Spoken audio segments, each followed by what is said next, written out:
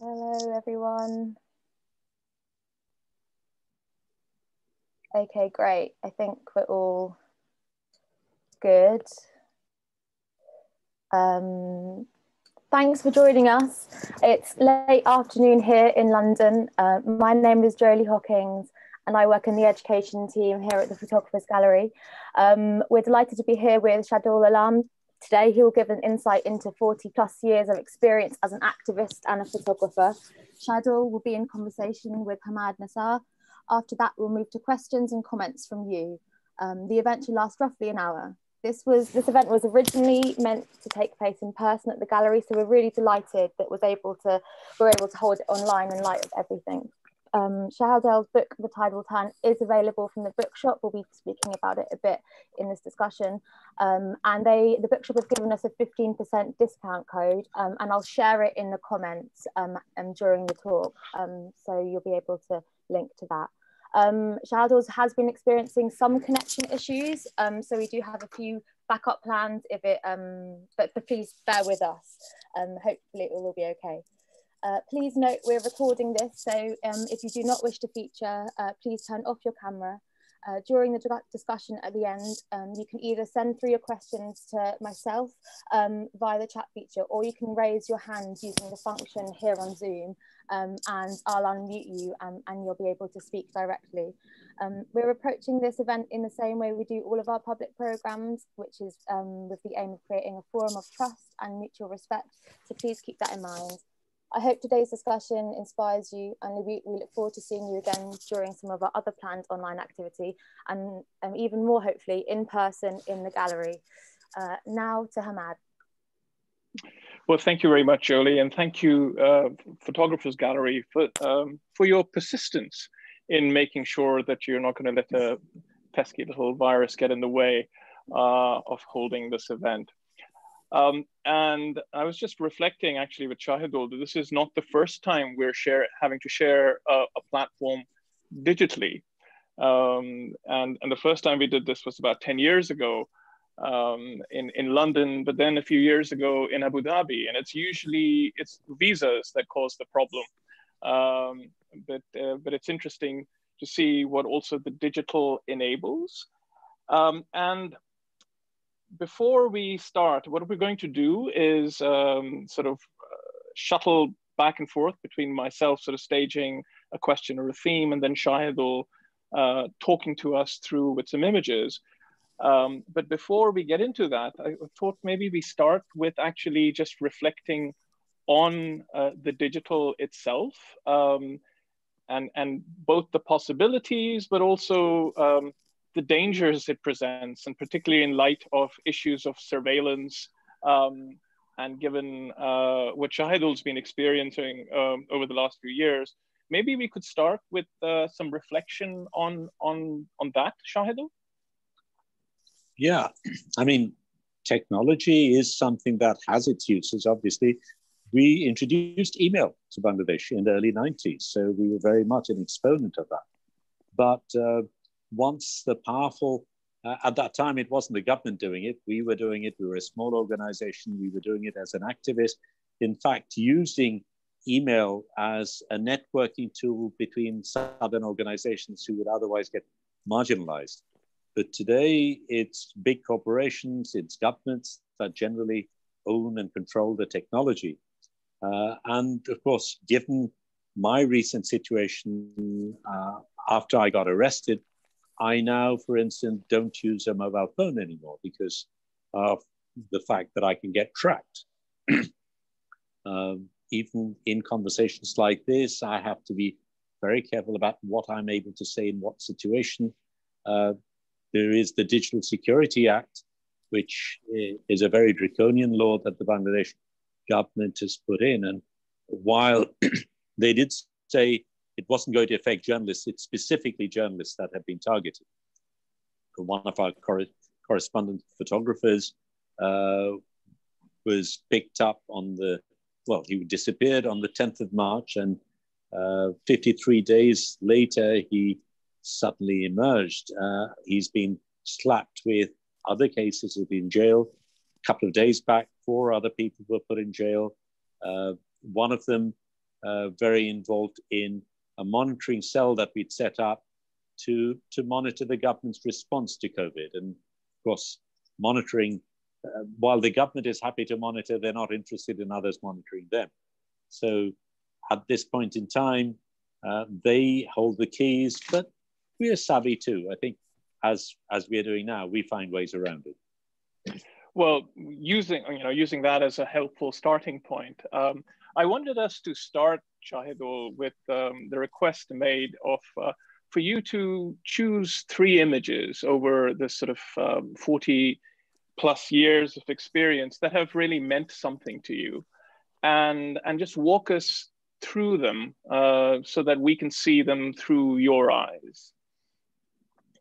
Yeah um, the first image is one by a photographer very well-known photographer from from the south raghu rai great indian photographer tremendous image maker, but it's not so much uh, the quality of his image, though that is also true.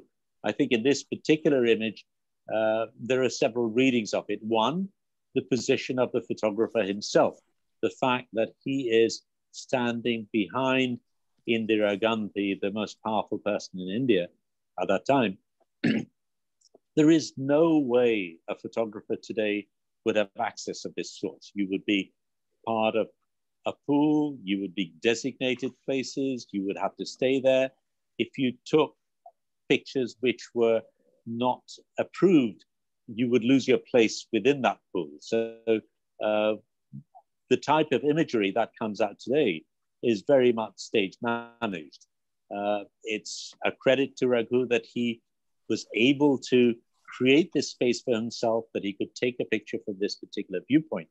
But it's a greater credit to him that he creates an image which, without any captions, through the body language alone, talks about the power relationships in terms of Indira herself, in terms of the cabinet around her, and even within that cabinet, you can read through the postures of various people where their hierarchy stands. It's a, in, it's an incredibly powerful political statement made by a very observant photographer who was able to uh, find uh, a different visual means to talk about things which otherwise are often um, uh, quite literal. And so uh, that's one image that has stayed with me as an example of a photographer developing his own visual language, but also being able to talk about relationships. Photography is very good at photographing what is in front of you. Uh, it's very good at being give, giving literal renditions. It's not as good at translating more amorphous things like relationships. And here is a wonderful example of how a photographer has done that. The next image um, is by a former student of mine Munir Zaman. He's now with AFP. It's, uh, it's a photograph on a boat uh, of Rohingya refugees uh, trying to find shelter. Now, this is the type of imagery that's a lot more known in the sense that so much of photography, particularly of photojournalism, is about uh, wrongs that have been perpetrated, about violence that has taken place, and power itself is uh, a very violent uh, structure.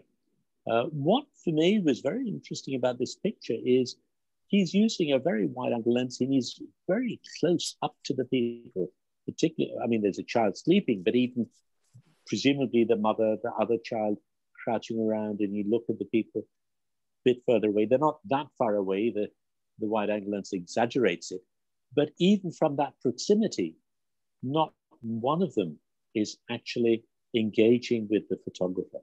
They're far away. The looks are vacant, they're distant, uh, they're cowering, they're fearful. Uh, and uh, I, I, can just imagine the intensity and the trauma that these people are facing, where they just don't care at this point in time. A photographer there with his lens on your face is not something they could bother with. They they have other things on their mind. Uh, of course, Munir is a skillful photographer and he was able to be in a position where he could take this picture inobtrusively. But how unobtrusive can you be? He's on that boat with them. Uh, uh, I mean, I'm reminded of Salomon's work very early on, where he made uh, a point of becoming a fly on the wall, of becoming invisible. Uh, in these sort of situations, the photographers are not, in a physical sense, invisible.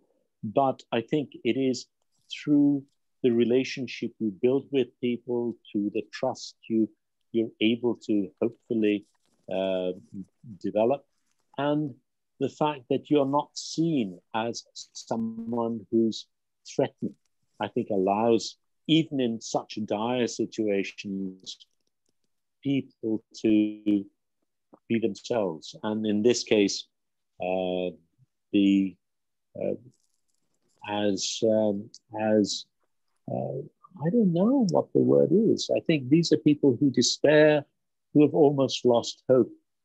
Uh, I hope a photographer through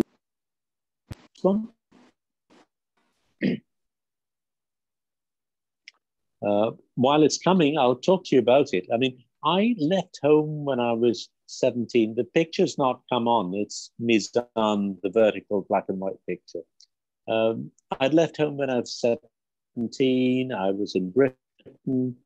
Um, I no, nine. If you could go uh, back. I was going to come back home because well, home where I was always going to come back to. Sorry, Aman? You know, that's the right photograph now. Uh, please continue, Shahidul.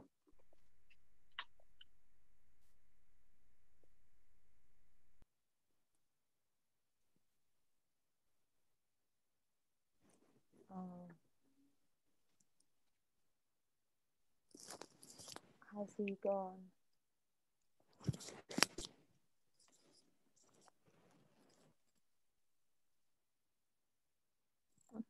Uh,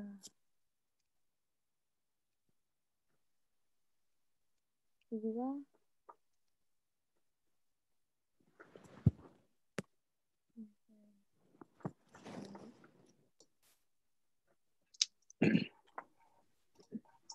Ah, there he is. I can see you. Can you see me? I can't Yeah. hear you. We can see you. Can you hear us? I can mm. hear you very faintly. Yes. Okay. Shall I continue to speak? Mm-hmm. Yeah.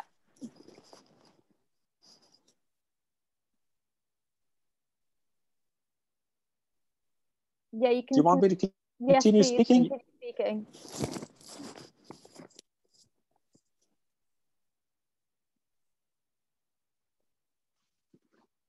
Shahidul, please continue. Okay. So um, I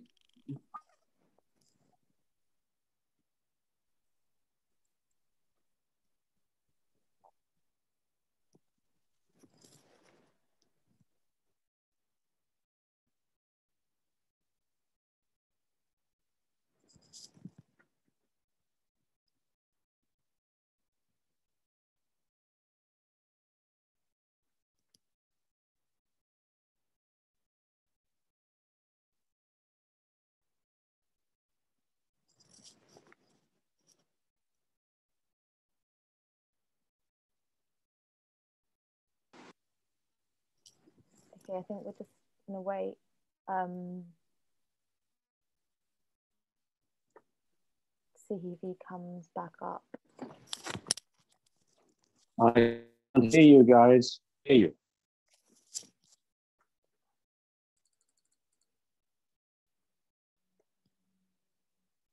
Shidul, Yeah. you're back.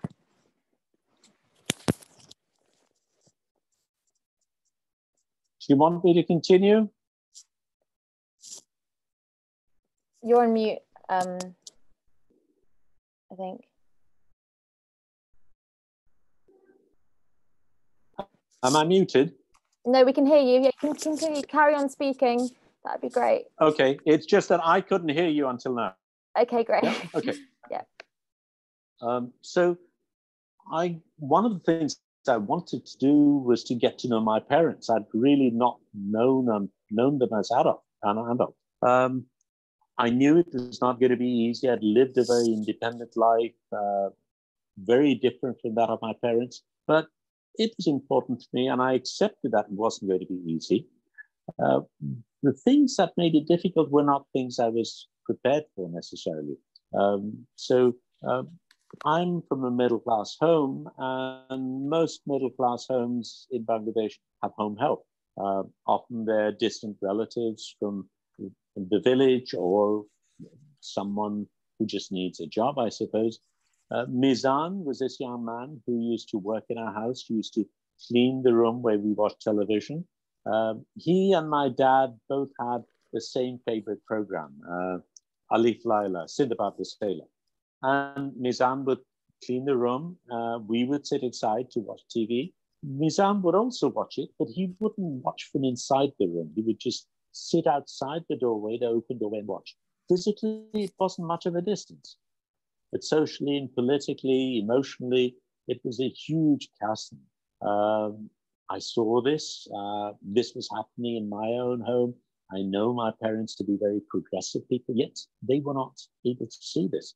So I took uh, a photograph of Mizan, and we had very early on in Drik begun to use our calendars for social messages. So we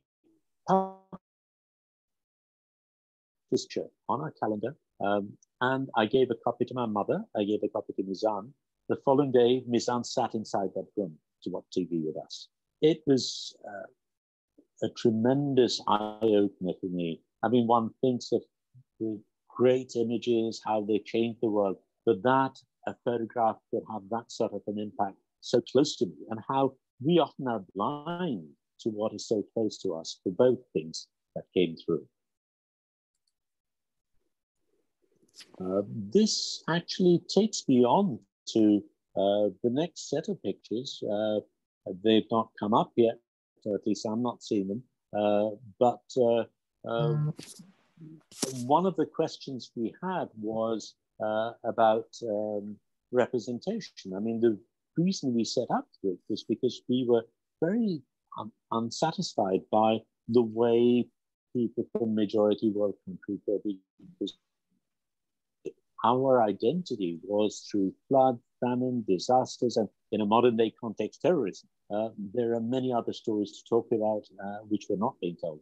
And we felt that we needed to tell our stories. I'm reminded of that African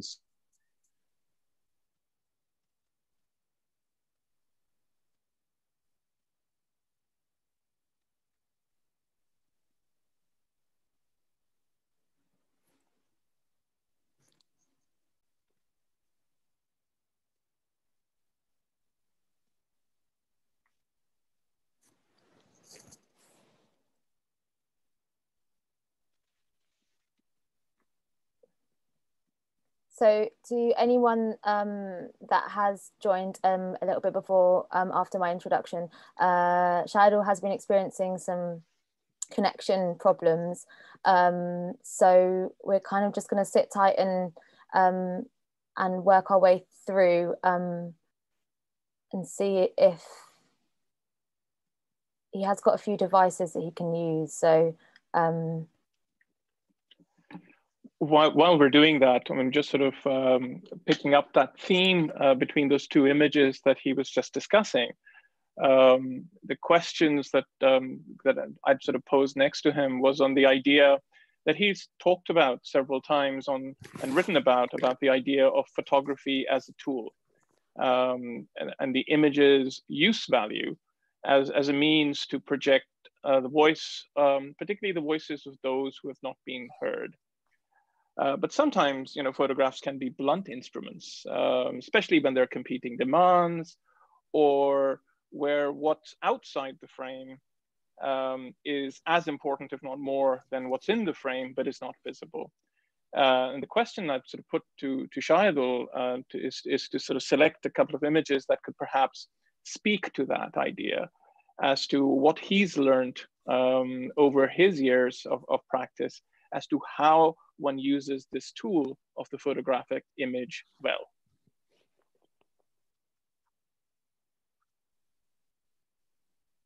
Now we just need him to come back and, and answer that question for us.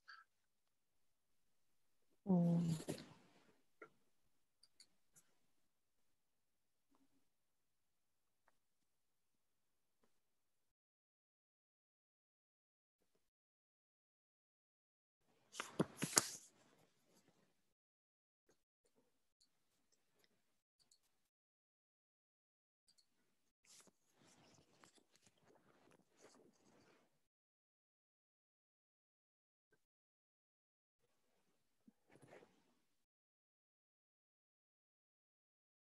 So I've just WhatsApped him. Um,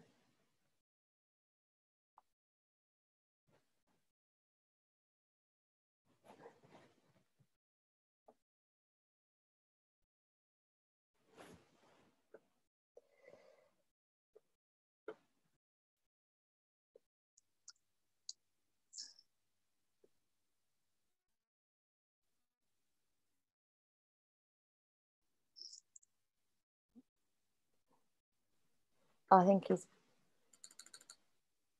back. Hello. Um, hi. Do you want me to use and amplify that? Yeah.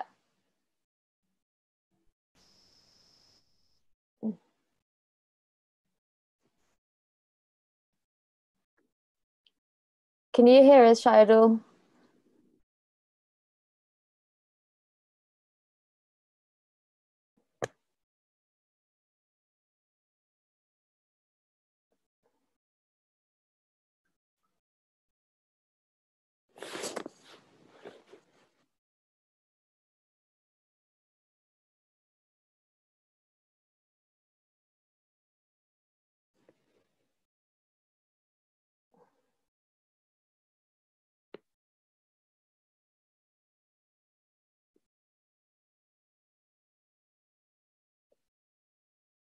Oh, sorry. I think I've unmuted. Hold on. Uh, sorry, Hammad. Okay. What were you saying? So, what, uh, so while we're waiting for Sh- uh, Shahidul um, to, to come back to us, I, I wonder if it's worth just uh, very quickly just pointing out what we're looking at to people um, and then maybe just circling through, cycling through the images and, and hopefully Shahidul will be able to come back and and um, walk us through them properly. But, but this is a particular project where he's uh, working with teaching photography uh, to young working class kids. Ah, we just have an image, uh, we have a WhatsApp message from Shahid. Good. Okay. He says he's reconnecting. Reconnecting. Okay. well, fingers, fingers, fingers and toes crossed. Sorry, Hammad, but you, do you want to maybe? I think that's quite a good idea of maybe yeah. um, you just talk us through some of the images that we, we discussed earlier. Yeah, um, and the, the, this particular image is, um, as you can probably tell, is a spread from New York Times, um, and this relates back to a, a 1991 uh, cyclone in uh, Bangladesh, and and oh, we've got a message saying people can't see the photograph. Ah. Great.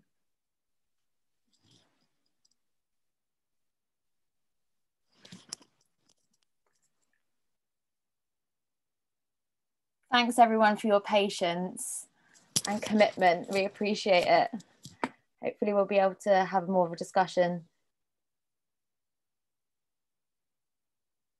Oh, someone suggested that it might help if he just cu- cuts off his video and just has audio. We could try that maybe. If he's there at all.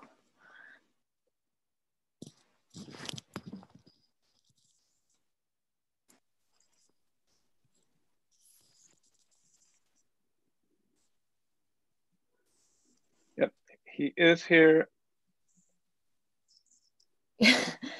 Some someone said he is. I can see him.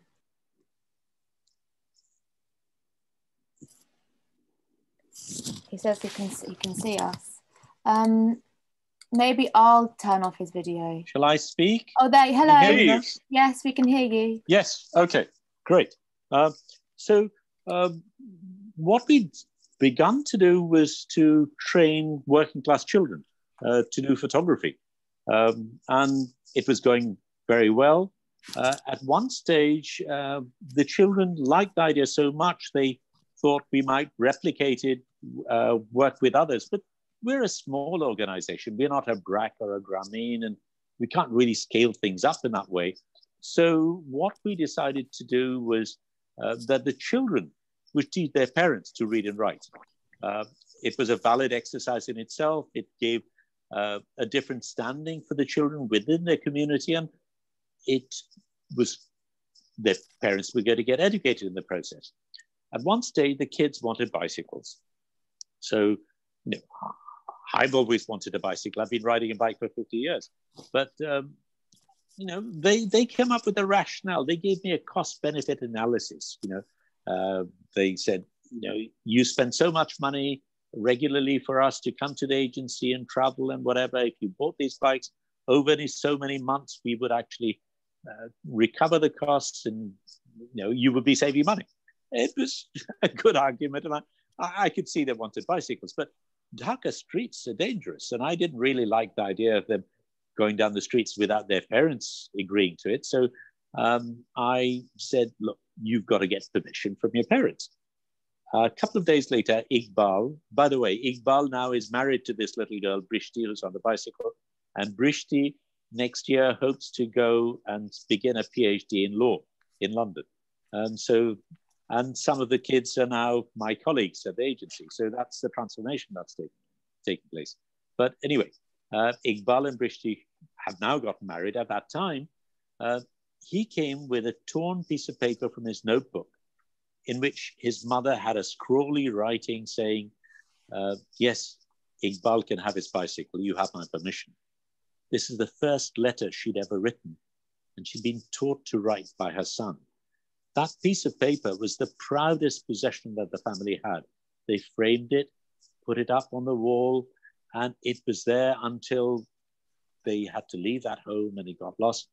But we talk about development, and uh, you know, I'm constantly facing people who talk about target lines, number of people uh, who've been affected, uh, what scale they've gone from where, and all those gradations and time charts and everything. And I tell them until you're able to learn the value of that piece of paper, of that letter that Iqbal's mother wrote, you have not understood development. And I think that's one of the things we need to reflect upon. The picture uh, on the right is of a working class kid working, a child uh, working as domestic help. Brishti would have been of a similar age at that time. And at that time, these were the only pictures we'd ever seen of working class people photographing themselves. Uh, and the images were very different, the stories were very different. And in a sense, uh, we were facing those questions ourselves. We had to ask ourselves those hard questions. We like to think that we, uh, by being local, are the people who have the right to tell the stories. But class is a very important issue um, and you cannot escape that.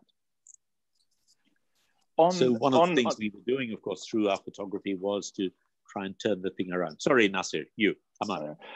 Um, Shahidul, on just on that, in terms of you know what you can and can't escape, I think one of the things is also as to how you've navigated the um, what is expected uh, from a, a, photographer coming from a certain part of the world, in terms of you know how you have managed to um, shape a practice that navigates between what you know what is sometimes called as as poverty porn, um, you know, images uh, of, of a certain kind, um, and then you also don't want to be captured by um, you know something which is uh, is aspiring to be of a particular place and and and you know being pure somehow.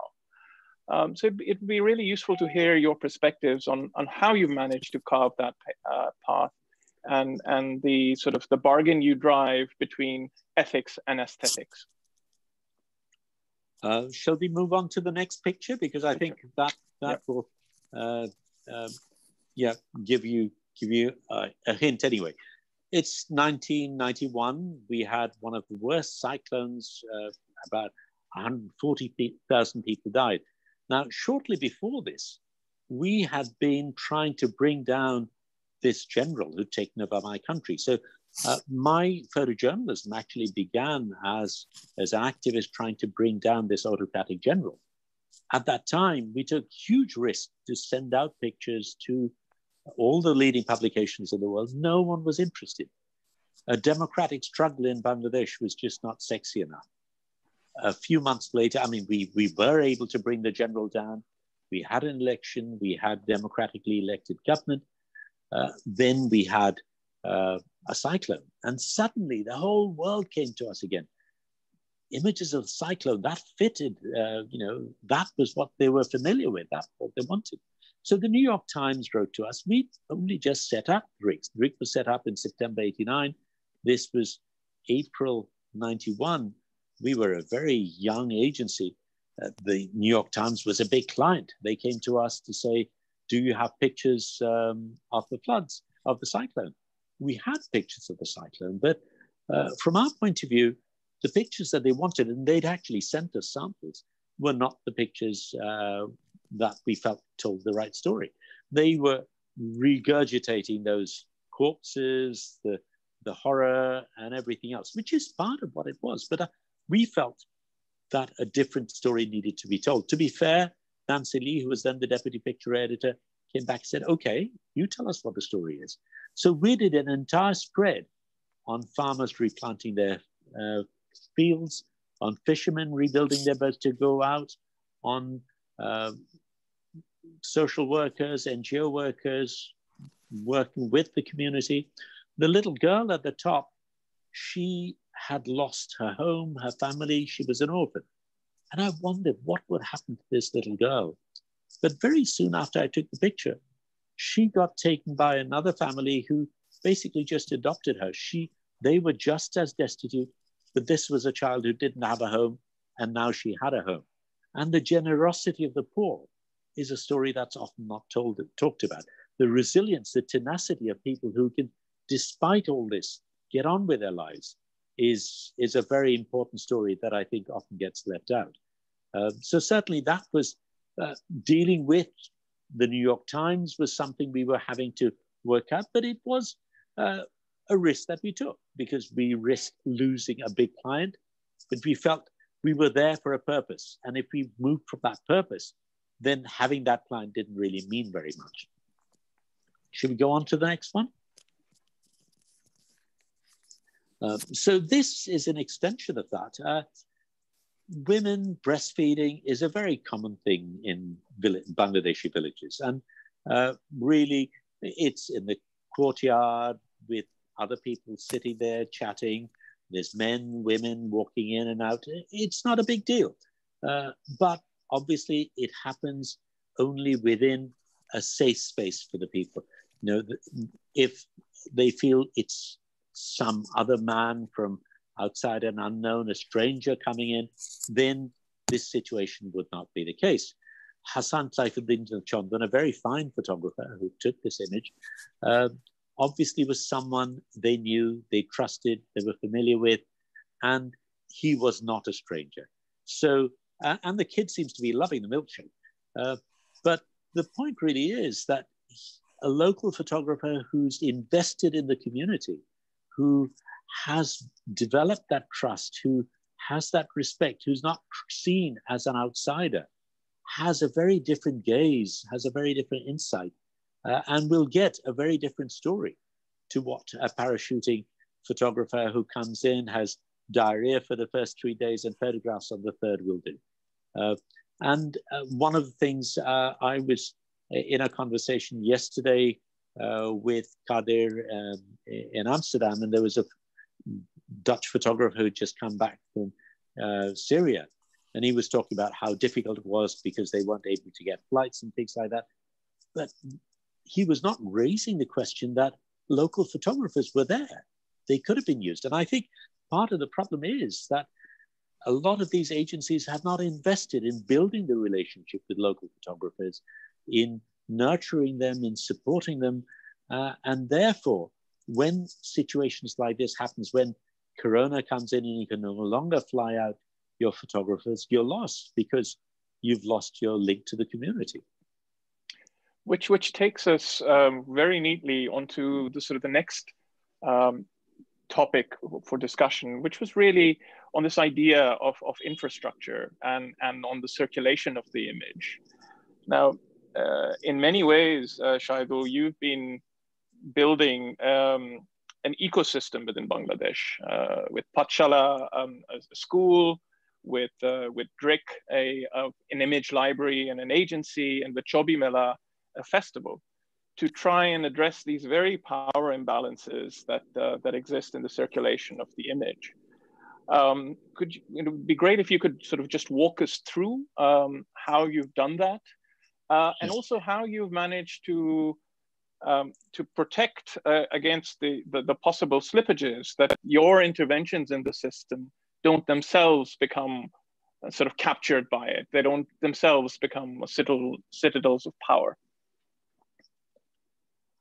Um, so uh, this image, uh, we were doing a workshop. I mean, at that time, I was very involved with the Bangladesh Photographic Society, which was basically a camera club.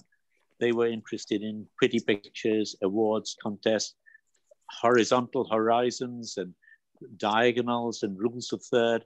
Um, I tried to tell them that there was more to photography than pretty pictures. Um, and I began to introduce documentary photography uh, a lot of the documentary photography is about relatively well-to-do people photographing the less well-to-do, or certainly the less powerful. We were photographing village life in a place called Savar, just outside of Dhaka. But we decided rather than to have the show in the gallery, this was done in collaboration with the British Council, uh, we would have the show in the village itself. And we set up this gallery under the banyan tree. Um, and uh, there was a picture of a young man in, in the show who had died uh, before we had the show, but I mean, obviously he was there when he was being photographed. And the family did not have a single image of this man. So this exhibit became their way of finding this person who'd just gone away. And there was a very funny thing. I mean, there were these people on the tree uh, looking into the show. So of course I had to go higher up to the, the tree to take pictures of them looking at the show. And while that's happening, I, I find a little girl badgering everyone because she wants to come in. So I was very curious. So I come down and I'm talking to this girl and she says, yeah, I've got to get into the show. Why? Because my goat has to see the show. Why? Because he's in the show. So there was a picture of the goat in the exhibit. And it was very important for this little girl to ensure that her goat got to see this picture. Now I wonder whether if there, had there been a poem or a, an essay or even a song perhaps about the goat, whether the child would have been quite so insistent on, on the goat participating. But a photograph was something she felt the goat could relate to. So that was also for me very, very important because here is this medium that is so a so ubiquitous, but also so um, acceptable to people. People feel it is a medium they can relate to. It is not something uh, that necessarily is on a museum wall or this very pristine uh, technical thing. It is something, and now with the mobile phone, it's even more so. Uh, and that uh, um, perhaps if we go the, to the next image that continues that that Yes, exactly. Uh, thank you for that, Hammad. So when um, I mean, one, once we had a show, I my first show was at the Goethe Institute in Dhaka, and at that time there were very few galleries. There were these cultural spaces, and because I was having a show, I invited people, which included my corporate clients, but also the janitors and the guards and the darwans there. And then later I asked them if they'd gone to see the show. No one had. And I was a bit disappointed. You know, I gave you invites or whatever. And then they said, would they have let us in? And it got me wondering, you know, the, these galleries are very elitist spaces. And in a country in, like Bangladesh, where you can visibly tell whether the class of a person, at least in those days, you could. Uh, uh, it's quite possible that the guard at the Goethe Institute would have stopped another working class people from coming in because he would have thought that was his job. Um, so I thought, okay, if they can't come to my gallery, my gallery must go to them. And uh, when we later set up Chobi Mela, the festival, which now, which was the first festival of photography in Asia and now has become uh, a major event, uh, we absolutely made it a point that not only would our shows be in the gallery walls, but they would go to the marketplaces, to football fields, to school play yards. We put these shows on boats, on uh, bullock carts, and we've even taken to other countries on trucks, on tuk-tuks, on camels, uh, because we find this is a very different way for the people to engage. The next image, please. And perhaps if we can sort of revisit that idea of infrastructure, most uh, you know, literally here, uh, but if you can then reflect on on the on the wider infrastructure you've been building. Absolutely. Well, we had decided we would be based in Dhaka, not in the traditional marketplaces of London, Paris, or New York. But having done so, uh, we were then cut off from the marketplace. So we had to stay relevant. Phone calls were very expensive. Uh, there was no scanning at that time. So uh, we set up Bangladesh's first email network using very simple FidoNet offline technology and whatever.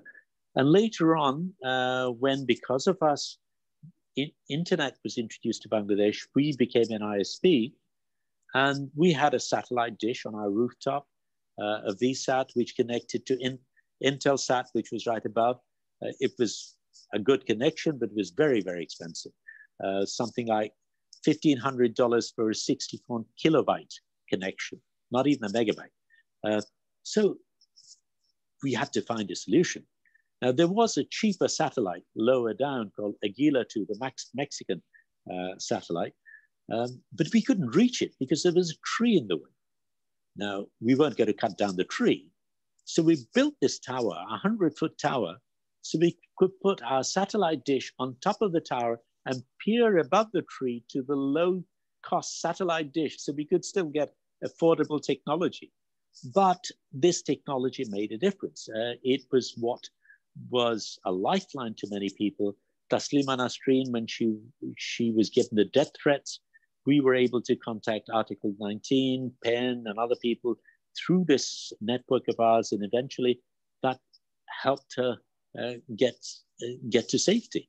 And we've used it in many other ways. But of course, it's been the other way around as well, because it also became a threat.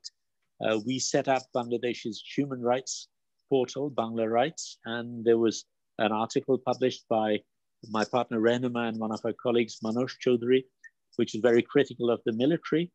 Uh, the following day, all our telephone lines got cut off. Um, so it took us two and a half years to get our telephone lines back, but we were enterprising. We lived in Lalmatia, about 200 meters away. We set up a little microwave dish on top of our flat. We got a point-to-point -point connection from our build, from our office to our land uh, to our flat, and we had a telephone line in our flat, so we continued operating. And the government till this day doesn't have a clue how, when all our phone lines were cut off, we were still able to survive.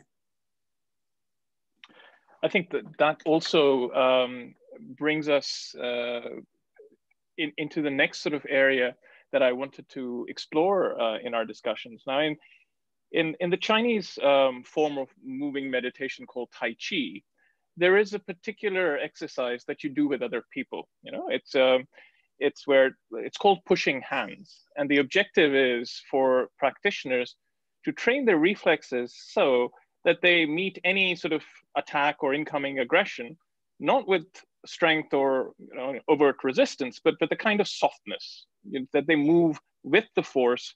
So they either they redirect it or allow it to exhaust itself. Um, and just looking and you know and just listening in admiration to some of these examples that uh, that you've been given this last one i hadn't heard before and find astonishing uh, i wonder if pushing hands is a useful metaphor for your own engagement with Power Shahidul. Um, is this what you've been doing? And, and does it get any easier? Well, pushing hands, certainly, but not just hands, I think whole bodies. Uh, but we also walk a tightrope. Uh, one of the challenges with photography is uh, that uh, it is a very fine line between uh, becoming questioning and provocative and challenging the status quo and becoming ineffective. You move too far from that edge and you get burnt and singed. You move too far back and you become ineffective. So, what you need to do is walk that very fine line where you feel the heat but don't get burnt. And it, it's and that line moves constantly. So the pushing hands uh, metaphor is a good one. Uh, uh, so one of the ways in which we try to do it is being by being bloody good at what we do. Uh, and that actually is a good defense because if your credibility is so high, if you're really so good at what you do, you can't be ignored quite so easily. Now, we'd set up the festival, uh, and uh, one of the things uh, we were doing was this festival against Dacha, and we felt it needed to be recognized. So we invited the president of Bangladesh, and he and he agreed. He came, and this picture is of the president of Bangladesh having a tete-a-tete with possibly uh, the most severe critic of the country, and, and this uh, this exchange is uh, quite surprising. I mean, this is uh, a few years back. Uh, later on, as I said, you if you don't gauge it, sometimes that tightrope snaps. And uh, I've I've ended up in jail, spent over hundred days in jail. So that also does happen. But there are those moments when you find yourself on, and you need to be on the top table. If you're to be relevant, then um, I think um, you know you have to find ways to be on that top table so your decisions matter. But yeah, I mean, I think uh, if if there are questions, I'm happy to take them on. But otherwise, let's let's continue. I think we'll sort of um, we will continue for another five to ten minutes, and then maybe open it up because uh, it it would be I think a shame if we don't actually run through and we have another four images uh, to talk through. Um, and this one, um, I think, connects really well to um, the one where you were just talking um, with with the president, because you you seem to be whispering into his ear. Um, and it brings to, to mind this idea of, you know, of language, how, how important language is to shape our worlds. Um, and, you know, working from text to image, I wonder if you could sort of tell us a little bit more about the kind of alternative vocabularies you've been building up in your practice. Yeah, that, the picture you just saw, the paddy field, uh, perhaps we could go back to that. It, is a show that I did on something called Crossfire, which is a Bangladesh euphemism for extrajudicial killings. Now, the killings, everyone knew about the killings. And I felt showing more bodies was not going to add to, to the debate. But all the killings had taken place in the dead of night. And I worked with a team, my niece Faria Karim, Momina Jalil, and we did extensive research. We found that all the deaths took place in the early hours of the morning. So I took all the photographs at, in those wee hours. What I was also told by family members of the people who've been killed was that the first recollection was torches being shone on their face. So I actually lit every image with torchlight. And these were large, beautiful museum quality images, which in fact then made it to museums and toured. Uh, but the government, of course, closed it down. And then we took the government to court, and the government had to defend why they were closing down a show with pictures of paddy fields. And of course, the only way they could challenge it was by admitting their culpability, by admitting what was the sinister message behind this, uh, this paddy field. So uh, I actually interviewed the police closing down the show, and I have a wonderful conceptual analysis given by the police to me, which I then use in the show. I've shown it at Tate Modern and other places where I actually turn this thing around. And the police is talking about the relevance of this image and what, why it matters. Let's move on to the next one because I think that also relates to it. That is about uh, a different situation. This is uh, a show uh, about a woman called Kalpana Chakma, a Pahari woman, indigenous woman who's disappeared by the military on the 12th of June 96. And many of us have continued working uh, for towards her justice. And this is a series of photographs I took of portraits of the people who've been championing uh, her cause. But rather than use conventional imagery, uh, what we did was when I interviewed her brother, uh, he told me of how in the last altercation she had with her abductor, it was about the military burning their villages. So I decided to use fire to produce imagery. Their homes had almost no furniture, just these straw mats. So I decided to use the straw mats as my canvas. And because the garment industry was also very much part of this inequality that we address, I took a laser device that a garment industry uses, adapted it and developed an algorithm to burn these straw mats. So what you see are charcoal images that have been burnt onto these straw mats. And my reason for doing it this way was earlier on, I'd had a situation where I'd found that my work has been decontextualized. And I'd made up my mind that I would not let the politics of my work be separated from my art. So I now try and produce work where just reading the image, entering that image, you're entering the political space itself. Um, so this is uh, the show was in a dark space.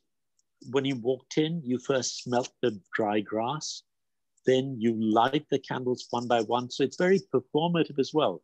And we recited powerful poems written by the Paharis, and the audience was asked to read it back, chant along with us. So it was very uh, interactive and performative. And people had tears in their, in, in their eyes at this show. And it's these two have been some of the most powerful shows we've ever had.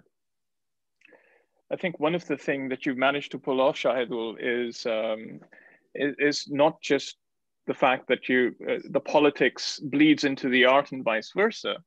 It's also how you seem to be sort of uh, gliding on time. Um, and I wanted to read just a, three lines uh, from the letter that Arundhati Roy wrote to you while you were in jail. Um, and um, uh, and from, from those lines, you've taken um, the title to your new book, The Tide Will Turn. And, I, I quote, I believe the tide will turn, it will, it must, this foolish, short-sighted cruelty will give way to something kinder and more visionary. This particular malaise, this bout of ill health that has engulfed our planet will pass. Now, this is, of course, being written in one context, but it reads um, perhaps even more resonant uh, in our current context. Um, and I'm sort of in, invite you to perhaps talk a little bit about these last two images and about your book um, with that lens of solidarity.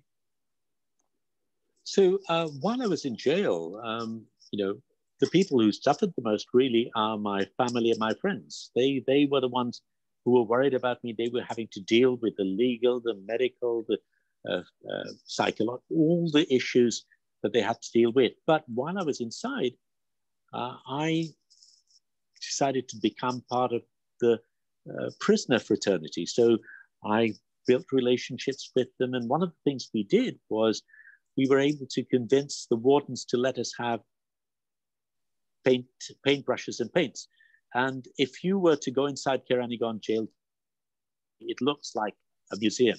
There are about 35 giant murals all across. I was in hospital uh, and they came up to me and said, we want one of your pictures. So I managed to get, get in books. So I gave them uh, quite a well-known picture of a sail, red sailboat, which has been published in National Geographic and many other places.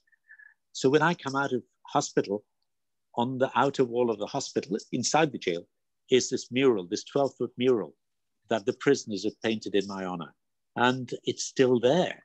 You know, this picture of mine has been published in many places, but I've never received uh, an honor of this sort. Um, and this is the way I stay connected with my fellow prisoners. So there it is in the book, um, the picture of, of that sail. But this is a photograph of a radio that the prisoners built for me because they said, You're a journalist, you can't be without radio. Uh, so they made a radio for me in jail uh, for this. But uh, we're running short of time. So, uh, I mean, there is this book, we can talk about it later perhaps, but I do want to move to the last image because it relates to now. It is uh, about uh, the corona situation. And this picture is taken very shortly after the first corona person, a person, positive person has been identified, and there was a lockdown coming up. And I worried about what was going to happen to the average person. A person who does not have a home cannot have home lockdown. And while lockdown can mean dis- discomfort to someone like me, to a person who lives from day to day, it means starvation and hunger and perhaps death. And I wrote on the 25th of March about an impending famine, a famine that had previously taken place in 1974 in Bangladesh.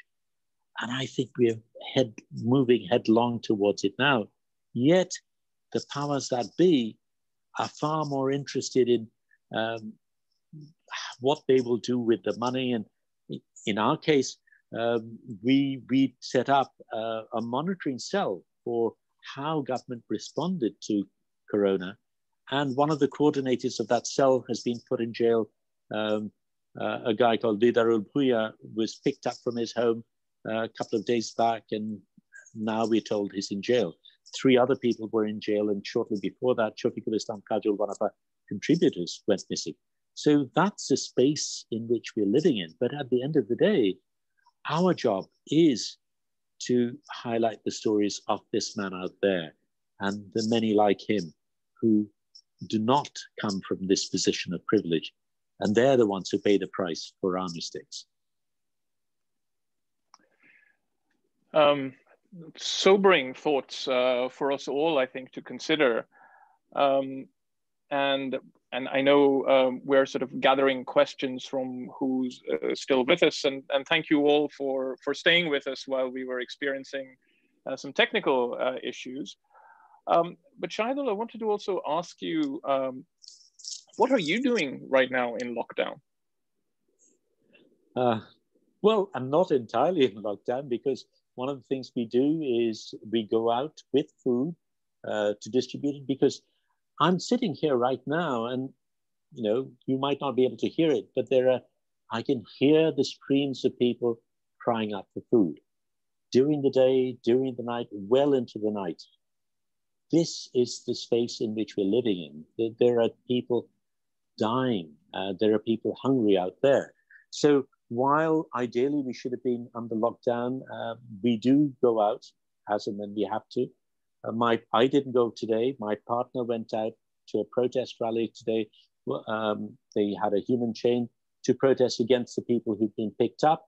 But of course, I'm also taking pictures, uh, and I'm taking pictures that I don't always get a chance to take photographs of. I, I take pictures of flowers in our balcony.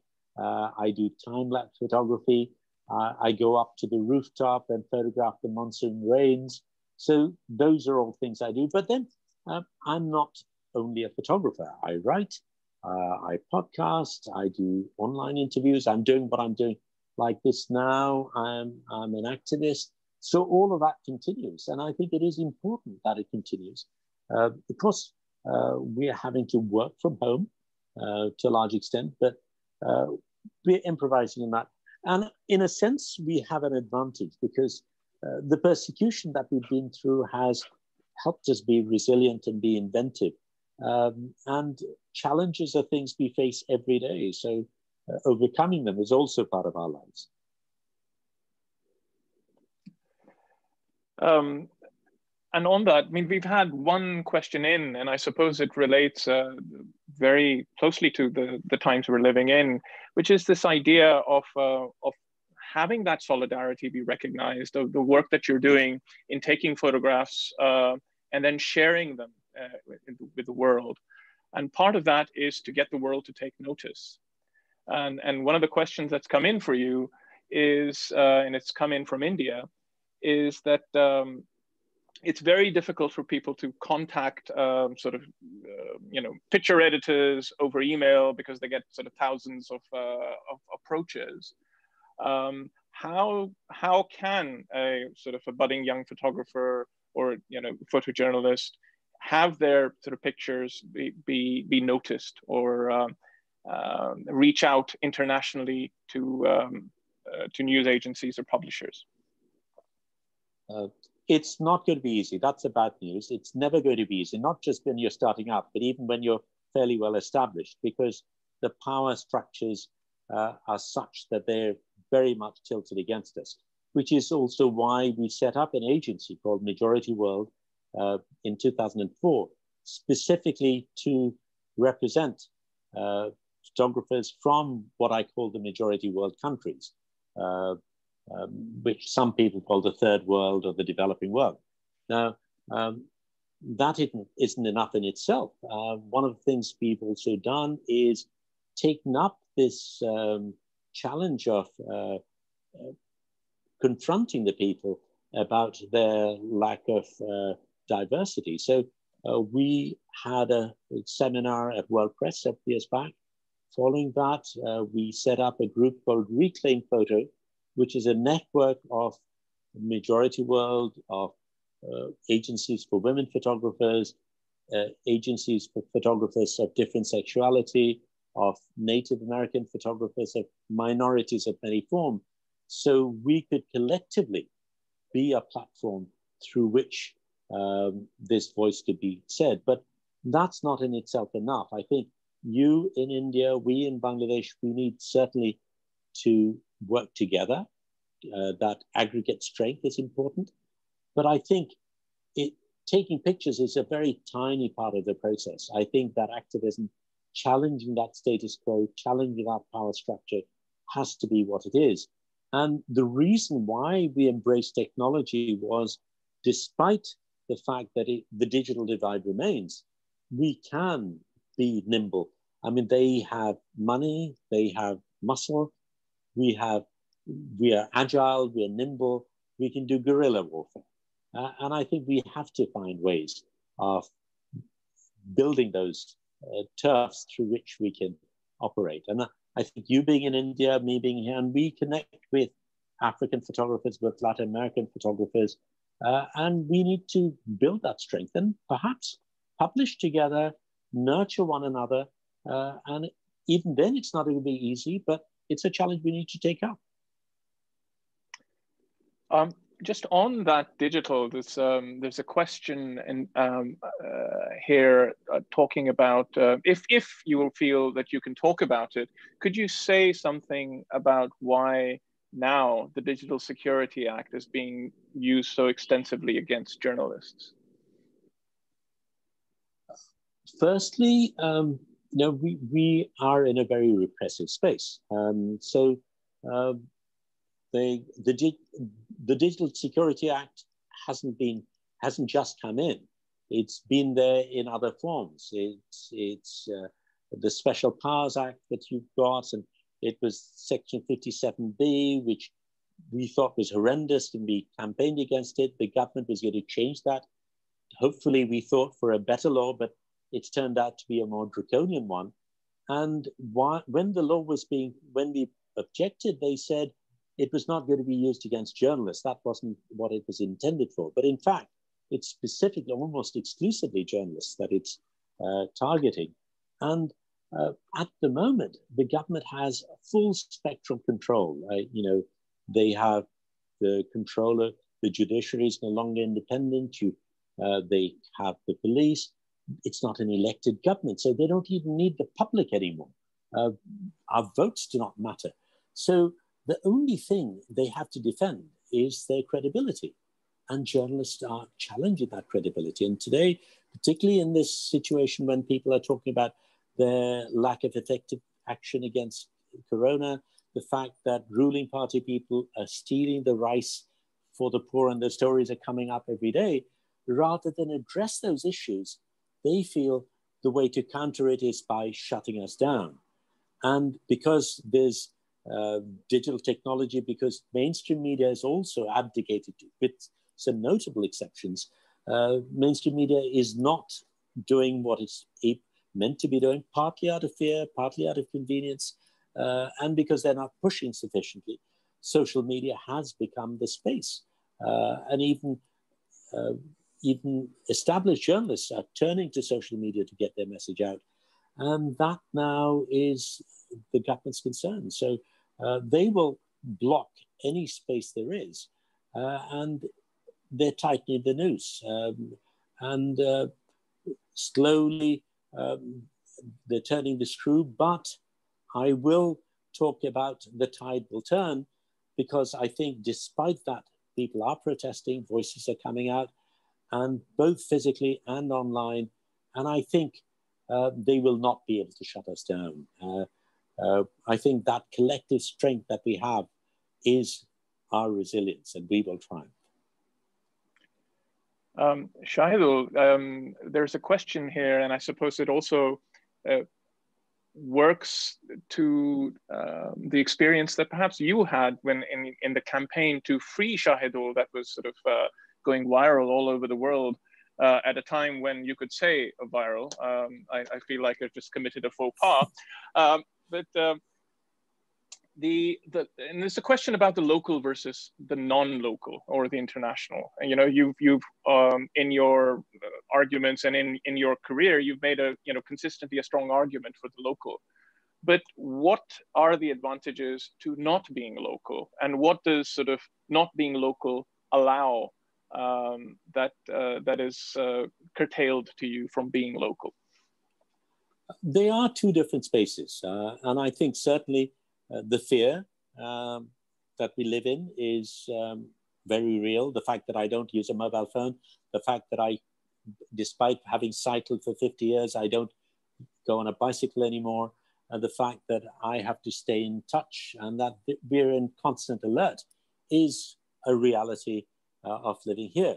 Uh, that is something that people outside can overcome. Tasneem Khalil, uh, who is in Sweden running Netra News, uh, is bringing out a very important publication, which incidentally is blocked in Bangladesh. But, uh, and there are many other people doing very, very important work in the diaspora. And at a time like this, there are people who are sending in money for the poor and for us to uh, use in our relief work and things like that. But I think there is a price to be paid. One is that you don't feel the pulse, uh, that you're not uh, in the streets, smelling the tear gas, smelling what's happening. And therefore, in a sense, sometimes your arguments can be a little bit aloof, a little bit theoretical, a little bit out of touch. Uh, but I think both are needed, uh, and together uh, things can happen.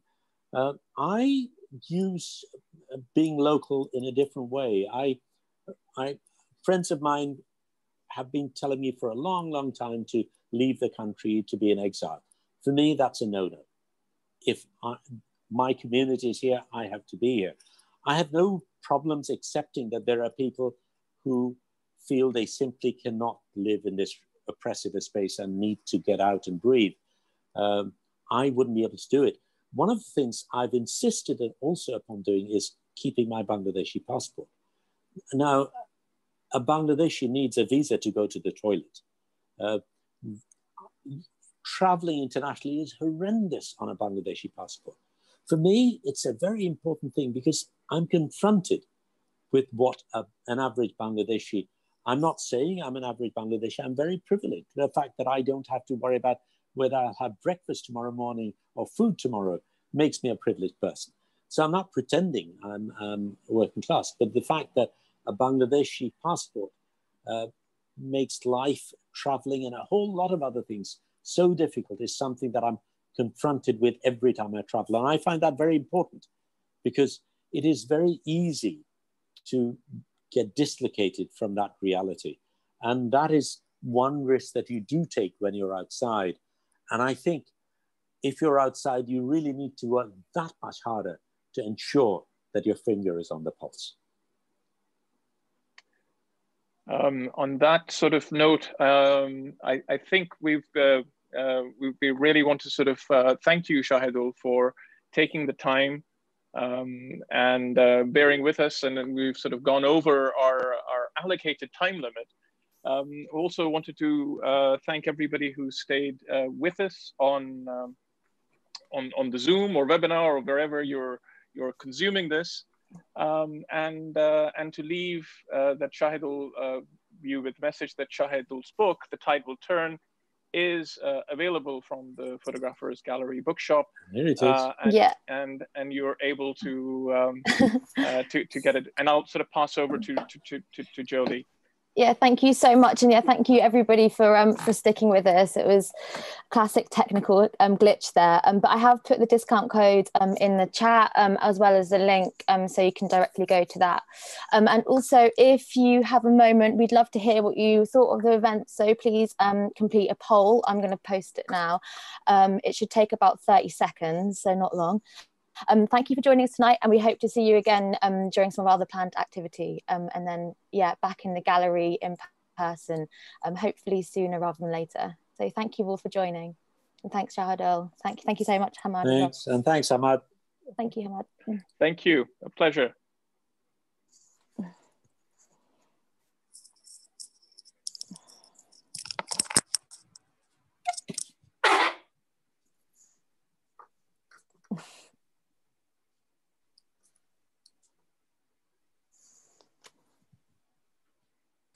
Jolie, the poll's not working for me. Oh, is it? Is it not? Uh, it, why. Someone's oh, using... Oh, okay. Okay.